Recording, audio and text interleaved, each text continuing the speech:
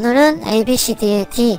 자, D는 이제 disability, 신경학적 장애를 말하죠. 평가 구성은 의식 확인, 팔다리 들어올리기, GCS, 동공 대광 반사, 혈당 측정, 마지막 정상 시간과 최초 비정상 시간 병력 청취가 되겠습니다. 첫 번째 먼저 의식 확인입니다. 응급구조사가 빠르게 의식 확인을 하는 방법으로 AVPU scale을 주로 사용합니다. 어, 먼저 주 호소를 물어봐 대화를 시작합니다. 자기 자신에 대한 인지, 주민번호, 주소, 핸드폰 같은 인적사항과 현재 월과 계절, 여기가 어디인지를 물어봅니다. 이걸 지남력, orientation이라고 하죠. 시간, 공간에 대한 개념입니다. 대답을 잘하고 지남력이 있다면 alert, 명료입니다. 말은 하는데 진압력이 없거나 질문에 적절하지 않은 답변하면은 컴퓨터 AVPU의 V로 봐야 합니다. 환자가 눈을 감고 있으면 큰 소리로 눈 떠보세요 라고 소리칩니다. 주의할 것은 말소리로만 환자에게 눈 뜨라고 하는 것이고 눈 뜨라는 명령에 반응하면 AVPU의 V, 어, To Verbal 언어 반응입니다. 병원 표현으로는 들어오지라고 할 수 있고요. 큰 소리로 눈을 안 뜨면 그때부터 통증 자극을 합니다.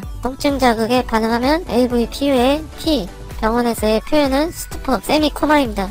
어, 통증 자극 방법은 sternum rubbing이 있고 어, nipple pinch가 있는데 젖꼭지 꼬집는 거는 어, 소송 사례가 있으니 되도록 젖꼭지 꼬집는 거는 피하는 게 좋겠죠. 이제 다른 통증 자극하는 방법은 nail bed pressure입니다. 손톱 끝부분 연조직이 있는 부위를 어, 볼펜을 굴려서 압박을 줘서 통증을 가하는 겁니다. drunken에서 굉장히 효과적이고 drunken이면 깨어날 때까지 30초에서 1분 이상 어, 자극을 줘도 좋습니다. 다른 방법으로는 supraorbital notch에 압력을 가해 문지르는 것 그리고 mandible angle에 압박을 가해 통증을 주는 방법 그리고 clavicle을 움켜쥐는 방법 trapezius를 콱 쥐어짜는 방법이 있습니다. 어, 번외적인 방법으로는 모든 통증에 반응을 안 하면 어, sugar test하는 lancet을 전용 펜이 아니라 느리게 환자 손가락을 찔러보는 방법도 있습니다. 두 번째로는 간단하게 팔다리를 왼쪽 오른쪽 하나씩 각각 올려보도록 환자에게 지시하는 겁니다. 이걸로 뇌졸중이나 척추 손상으로 인한 마비를 감별할 수도 있습니다. 여기까지는 종합해서 세 번째로 GCS를 알아보겠습니다.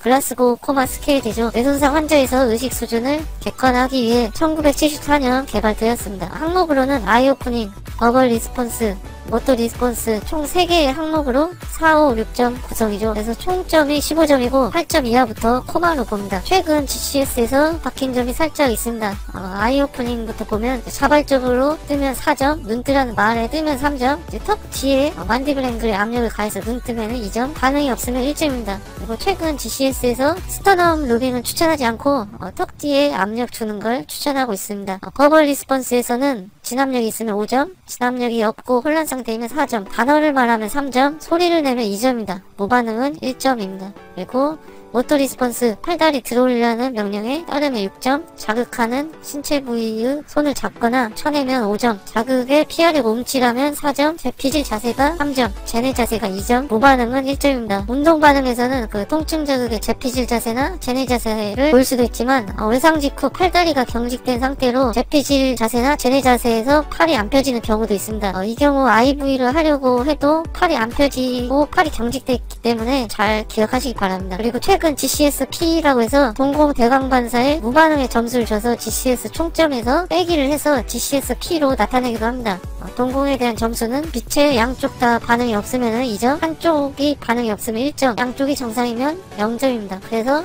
GCS가 8점이면은 동공 대광 반사가 양쪽 다 없으면 마이너스 2점이므로 GCS-P는 6점인 것이죠. 그래서 네 번째로는 pupillary light reflex 동공 대광 반사입니다. 동공 대광 반사는 신경학적 장에서 응급구조사가 마찬가지로 주요하게 봐야 할 것 중에 하나입니다. 뇌신경 3번 cranial nerve 3번하고 연관된 것이고 이제 양쪽이 빛에 수축하고 반응성이 있는지 확인하는 것이고 비정상은 빛에 반응하지 않고 않고 환대되어 있거나 어, 수축되어 고정된 상태입니다. 주로 급성으로는 출혈성 뇌졸중이나 어, 외상성 뇌손상이 있을 때 동공 대광반사에 이상이 오게 됩니다. 그리고 신경학적 장애 검사는 이제 의식 확인, 팔다리 들어올리기, GCS, 동공 대광 반사까지 이제 확인해봤고 어, 마지막으로 몇 가지 더 있습니다. 어, 가장 중요한 거는 이제 다섯 번째 신경학적 이상이 확인되면 혈당 검사를 꼭 실시하는 겁니다. 저혈당, 하이포글리세미아는 이제 의식 변화 중에 감별하기 쉽고 응급처치도 병원전에서 할 수 있는 응급 급상하기 때문에 항상 의식이 저하가 있거나 의식 변화가 있으면은 혈당 검사를 해야 합니다. 다시 말씀드리지만 잊지 마시고 혈당 검사, blood sugar test 꼭 하시기 바랍니다. 여섯 번째는 어, 신경학적 장애가 발생하면 신고자 그리고 가족, 주변인에게 마지막 정상 시간과 최초 비정상 시간에 그 시간 onset을 꼭 청취해야 됩니다. 한 가지 더 기억할 것은 네, 의식 변화의 원인이 A, I, O, U TIPS입니다. 어, 각각 A는 알코올, 산증, 그리고 E는 뇌전증, 내분비, 전해질, 뇌병증, I는 감염, O는 약물 중독, 아편제제, 그리고 U는 요독증, T는 외상후, I는 인슐린, 그리고 P는 중독, 정신병, S는 뇌졸중, 발작, 실신입니다. 여기까지 A, B, C, D, D를 알아보았습니다. 어, 다시 한번 강조드리지만 의식저하에서는 꼭 혈당을 측정하시기 바랍니다. 오늘은 여기까지 하겠습니다.